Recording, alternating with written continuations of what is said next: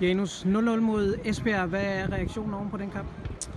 Øh, lidt blandet reaktion. Øh, meget færre resultat set over, over hele kampen, som ikke var, ikke var særlig godt spillet, men mest præget af dueller og nerve. Og øh, I var sådan bedst i anden halvleg. Hvad, øh, hvad oplever du der? Øh, jeg oplever egentlig, det svinger meget. Jeg synes, øh, begge hold har nogle muligheder. Øh, det er jo klart, at sådan en kamp her der er det vigtigt at, vigtigt at komme foran. Øh, som måske kan stå og lidt mere. Esbjerg var meget afvendende og, og satte på, at de kunne stjæle nogle bolde og køre nogle omstillinger. Men, men vi, skal, vi skal lige have momentum over vores side igen og, og have stolpe ind, for, for det var tæt på.